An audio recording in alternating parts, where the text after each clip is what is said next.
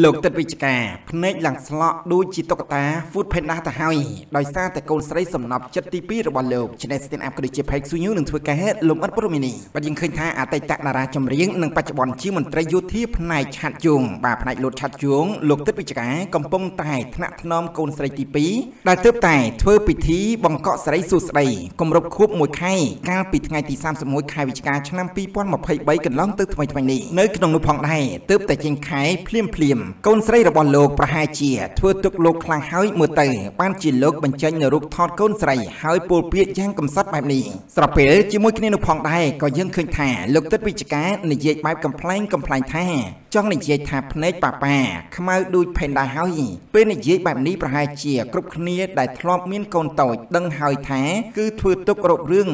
យំនៅពេលយំហើយយំហើយយំទៀតហើយប៉ានិងម៉ាក់មិនបានគេងគ្រប់គ្រាន់នៅឡើយ ព្រោះតែនៅបញ្ឈោភ្នែកលួងកូនរហូតតារាចម្រៀងមាសដ៏ធំរូបនេះបានបញ្ចេញនៅវីដេអូក៏ដូចជារូបថតជាបន្តបន្ទាប់ជាមួយនឹងកូនស្រីដែលទើបតែកើតនោះដោយបញ្ចេញនៅសារខ្លីៗអមជាមួយគ្នាផងដែរទន្ទឹមនឹងគ្នានោះក៏យើងឃើញថាក៏មានអ្នកគ្រប់គ្រងក៏ដូចជាមិត្តភ័ក្តិនៅក្នុងវិស័យសិល្បៈទាំងសិល្បករនិងសិល្បករនីបានប្រាប់ឲ្យលោកទ្រាំហើយជូនពរនៅកូនស្រីរបស់លោកឲ្យមានសុខភាពល្អ